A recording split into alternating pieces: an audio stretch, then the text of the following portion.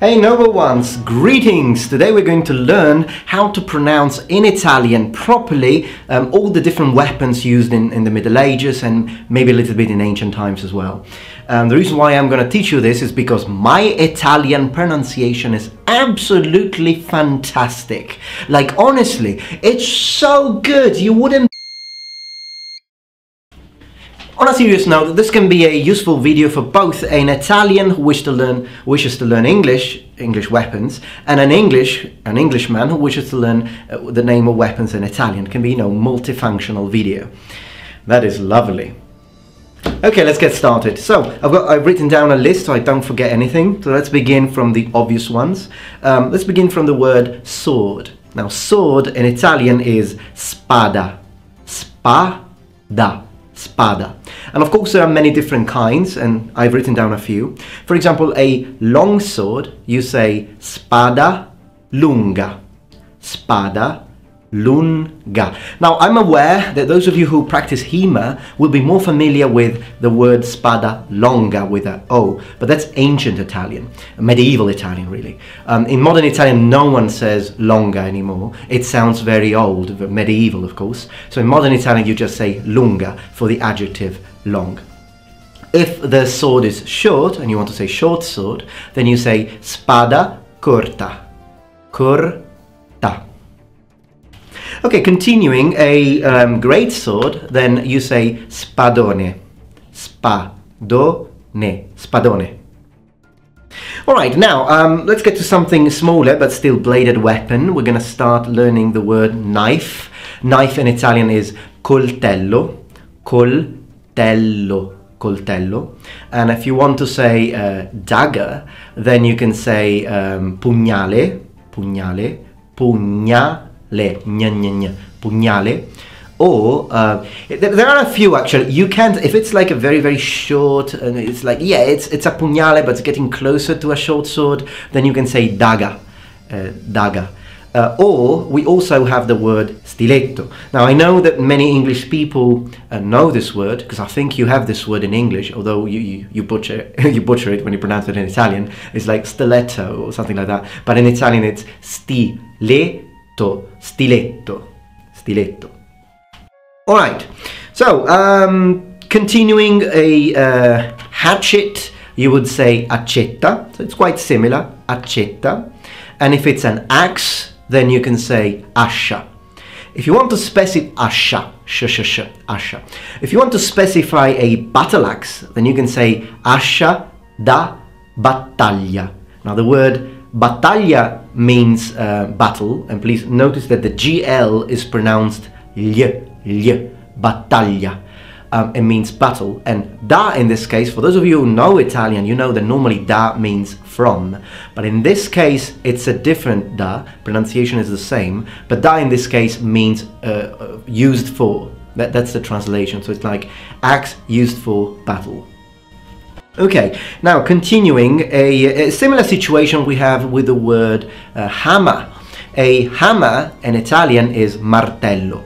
But when you talk about uh, war, of course in English you say war hammer, and in Italian that becomes martello, da guerra. Now we have already seen da, we translate it as uh, used for, so guerra means war, and martello da guerra, martello da guerra. Okay, now um, a mace, a mace is a mazza, mazza. Um, there are a few kinds. So for example, if it's a, um, a spiked one, then you can call it, there are a few possibilities, either mazza chiodata, or even in English, I mean, you can call it morning star, and you can translate that literally into Italian, and it becomes stella del mattino, where stella means star, Del means of, and mattino means morning. Beautiful name for a nasty weapon. Um, in Italian, you also have mazza ferrata. Ferrata, which comes from the word ferro, which means iron. And it's this one here. And I'm not sure how to say this in English. I mean, in English, I would just call it a mace, but perhaps there is a technical term. If you know that, please let me know in the comments below. Now, continuing, we have, uh, moving on to um, uh, pole weapons, uh, then you can say, for example, a lance in Italian is lancia. lancia. So it's, it's similar, lancia. Uh, but the word lancia in Italian also translates the English word spear. So while in English there, there might be, there is a differentiation, in Italian they're all lancia, all of them. Um, then if you, of course there are other kinds, it's a similar weapon and it's the pike, from which you have pikemen, and a pike in Italian becomes picca, picca. And if you want to say pikemen, it's picchieri. Or, well, for singular is picchiere, picchiere, picchiere. But perhaps I will dedicate, I will make a dedicated video for all the different kinds of, of soldiers like knights and, and warriors and all these words in Italian, which are so fun to learn.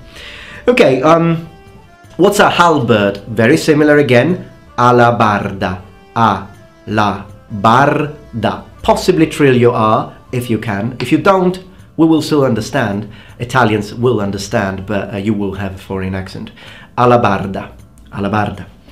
Um, then we let's move a little bit onto ranged weapons. So the most basic and famous of all, the bow. A bow in Italian is arco. Now, if you are familiar, the word arco, arco in Italian is very interesting because it means the weapon, um, so the bow, but if you think about it in English, you, you can say, I think, the arch when you talk about structural and, and you know, um, buildings, etc. And that in Italian is still arco. So because at the end of the day, it's the same, it's the same uh, shape. And if you want to say longbow, then you can say arco lungo, arco lungo. Moving on to a, uh, for example, we have talked about the bow, let's talk about the um, crossbow. A crossbow in Italian um, is, is, it becomes a different word, which is balestra, balestra, balestra.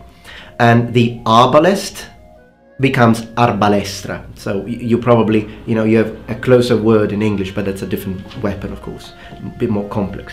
Then, still in the in the in the realm of uh, ranged weapons, the some of the components, of course, the actual uh, sort of munition that you can say uh, for for arrow in English, it becomes freccia, freccia, freccia in Italian, and a quiver, the container of of your arrows, becomes faretra, fa, re, tra faretra. It's only one R, so don't over exaggerate it in pronunciation like guerra. Guerra is strong, like Ferrari. Double R, stronger. That's when you show off if you can roll your R. Um, but in the case, in this case, it's just one R, so it's faretra, faretra, just one short trill. Then we have a glaive. A glaive in Italian becomes falcione, falcione ne. But this is a word that, I mean, if you just say it to an Italian, he won't understand unless they are into medieval history, etc. It's not like a like spada, arco, everyone understands, but falcione, it's a bit more specific. I think it happens also in English or something like this um, when you get very technical. And uh, um, but it is similar to another Italian word which is falce, and a falce is in English is scythe not really a weapon, of course, it's more of a tool for farming, but uh, yeah, that would be scythe. And if it's the small one, the sickle, it becomes falcetto. Falcetto. Falcetto. Uh, this is a lot of fun. Let's continue. A poleaxe. A poleaxe is a azza. So it's very similar to the word mazza, mace. Just remove the M, azza, and you have said the poleaxe. Um, then here is when it becomes interesting, the flail. How do you say flail in Italian? And there are a few possibilities. I think the one you would find most of the times is mazza frusto. Mazza frusto. So you are adding uh, to the word mazza, which is mace, you add frusto. Just it becomes one word. And it's, it's interesting because, again, very technical word. Not many Italians will understand it, but all Italians understand mazza. And frusta, with a a at the end, is whip. So it's a whip, frusta. You know, that one there. Um, although actually the same word is also whisk, the one for cooking, uh, but yeah, you don't really need to know that, do you? Continuing, we have got the word um, scimitar, in Italian scimitarra, scimitarra, double R, scimitarra, which is your Italian passion, scimitarra. Um, then a, for example, a bastard sword would be spada bastarda, spada bastarda, spada bastarda. It's very similar. Um, yes, here is another one that I, I'm not quite sure because in, in English, I think you use a French word and I'm not aware of an English way to say that. But the bec de Corbin, bec de Corbin, in it's French. Um, that one in Italian, you say mazzapicchio, mazzapicchio. Again, very specific word. Please let me know if there is another word. Or maybe I should pronounce it the English way, I just don't know how to I just pronounce it in French, because I only know the French pronunciation. Shield, I'll give you the general term, then perhaps I'll make a dedicated video for like heater shield and kite shield and all the different kinds. But shield in general is scudo. Scudo. Scudo. So scudo is a shield. And uh, uh, then you have, okay, moving a little bit into fencing, um, the foil is fioretto, fioretto, fioretto, and a, a saber would be translated into sciabola, sciabola, sciabola. Of course, sword is spada, we already know that. Similar to Spanish if you think about it, but I think in Spanish they add the e, they, they say like espada or espada, something like that, but in Italian it's spada, no e at the beginning. Okay, well, I've already um, taught you a lot of words, I think, and uh, I think this would be good for today's video. If you like this idea and you want me to teach you more about weapons and armor and, and all of that, like specific uh, names in Italian which have to do with Middle Ages and, and maybe even role-playing games and that sort of thing, please let me know because I, I, I thoroughly enjoy this as I am a language teacher after all with a huge passion for the medieval times, classical times and whatnot. So thank you very much for watching. I hope that this video and this tutorial, linguistic tutorial, was useful to you. And please let me know what you think in the comments below. And also let me know what is your favorite weapon of all the weapons that we have mentioned today. Qual è la vostra arma preferita? Thank you very much for your time. And remember, the Metatron has spread his wings. Arrivederci. Basta.